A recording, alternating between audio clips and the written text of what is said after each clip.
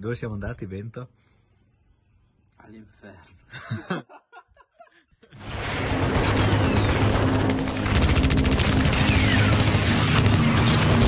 Sei vero carico, Vento? C'hai, c'hai male da qualche parte?